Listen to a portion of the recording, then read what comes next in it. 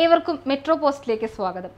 വോട്ടർമാർക്ക് കാശ് കൊടുത്ത് വോട്ട് മേടിക്കാൻ താൻ അത്രയും വിവരം കെട്ടവനാണോ എന്ന് നേമത്തെ യു ഡി എഫ് സ്ഥാനാർത്ഥി കെ മുരളീധരൻ.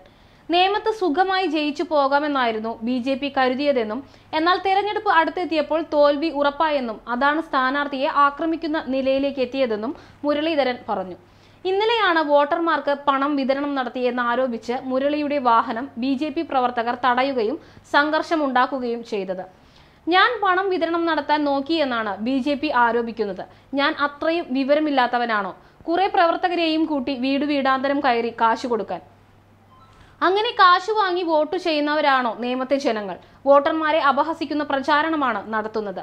ഇത് തരം താണ രാഷ്ട്രീയ പ്രവർത്തനമാണ്. ഇതുകൊണ്ടൊന്നും ഭയപ്പെടില്ല. ബി ജെ പിക്ക് നിയമസഭയിൽ അക്കൗണ്ട് ഉണ്ടാകില്ല. വട്ടപൂജ്യമാകും ലഭിക്കുക.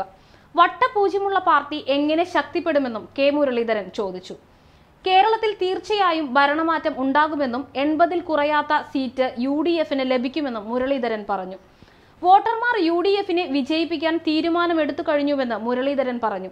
അതേസമയം പ്രധാനമന്ത്രി നരേന്ദ്രമോദിയും മുഖ്യമന്ത്രി പിണറായി വിജയനും ദൈവദോഷം അനുഭവിക്കുമെന്നും ശരണം വിളിക്കേണ്ട സമയത്ത് പ്രധാനമന്ത്രിയും മുഖ്യമന്ത്രിയും ശരണം വിളിച്ചില്ല എന്നും മുരളി പറഞ്ഞു.